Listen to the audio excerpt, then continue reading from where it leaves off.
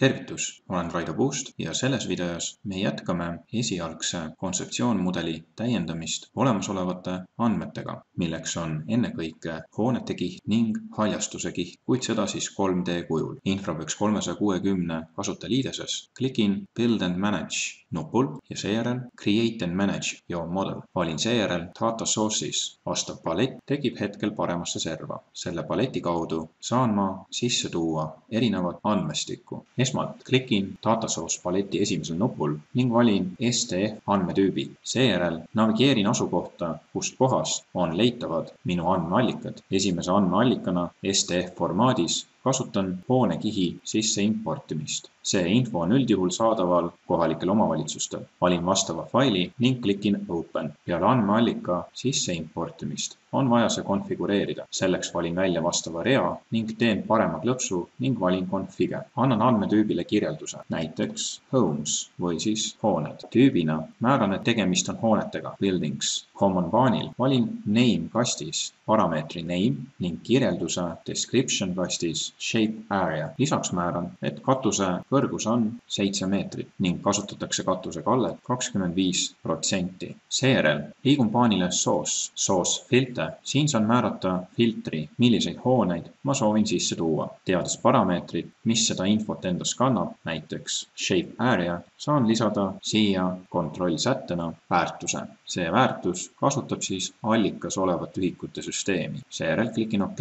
kindlasti soovin, et minu hooned oleksid liidetud maapinnaga, seega Draping Options valin Drape. lisaks võin liikuda baanile Tooltip ning sisestada Visual baanil olles lisainfo mis kuvatakse kiirega hoone peale liikudes. kasutan näiteks selleks information ja seejärel väljasid name ja area. nüüd klikin close and refresh nupul, misjärel toimub andmestiku konfigureerimine. saan seejärel navigeerida mudelis ning vaadata tulemust. ma näen, et selle käigus on tekitatud hooned hoone KISS infobaasil kasutatakse vaikimisi hoone kõrgust ning katusekallet. järgmisena lisan haljastuse info. jällegi klikin andmestiku importimise töövahendil ja valin andmetüübina STF. sedalaadi faili võib saada jällegi kohalikult omavalitsuselt. klikin open. nüüd peame jällegi ka andmestikku konfigureerima, kas klikkides nupul configure data source või parem klõps ja configure. tüübina on seekord meil tegemist puudega ehk trees kontrollin, et source baanil oleks draping options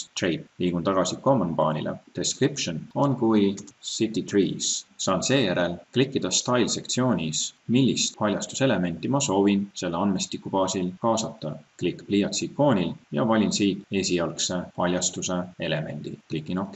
General sektsioonis sisestan ka nimetusena name city trees. seejärel klikin close and refresh. nüüd kuvatakse ka minu mudelis haljastus, kuid seda haljastust on võimalik ka juhuslikumaks muuta. selleks me kasutame Style Rules töövahendit. klikk Style Rules peal ning Style Rules paletil klikin plussi ikoonil, et uus reegel defineerida. annan nimetuse kui City Trees ja OK. seejärel klikin pliiatsi ikoonil, et seda redigeerida. kirjeldusse panen näiteks Random Trees ehk siis juhuslike puude valik. Expression kasti soovin ma aga kirjutada, mille baasil või milliseid objekte juhuslikku valikusse kaasatakse. klikin siin Edit nupul ning seejärel valin Common ning topeltklõps Name peal ja see on võrdne eelnevalt sisse toodud puude nimetusega City Trees. Saan klikkida siin noolel ning valida Name, misjärel mulle kuvatakse minu mudelis võimalikke valikuid. teen siin topeltklõpsu. seda on hea kasutada, kui meie mudelis on rohkem juba eelnevalt neid nimetusi antud. klikin seejärel OK. Style sektsioonis saan ma määrata, milliseid haljastuselemente hakatakse juhuslikult kaasama. kui varasemalt me kasutasime ainult ühte stiili, siis siin on võimalus kasutada nii palju, kui soovime. klikin nupul Add ning valin selle näite tegemise käigus näiteks juhuslikud seitse kuni kaheksa puud. lihtsalt klikkides välja ja OK. uuesti Add, olles need juhuslikud puuelemendid lisanud, võid klikkida OK. nüüd, kus reegel on defineeritud, saad selle käivitada paleti allosas Run Rules nupu kaudu. klikk sellel. sa peaksid nägema, et nüüd on haljastus palju juhuslikum ja seda lähtuvalt sinu poolt valitud haljastuse elementidest. analoogselt on sul võimalik sisse importida ka muud infot, mis kirjeldab olemasolevat olukorda.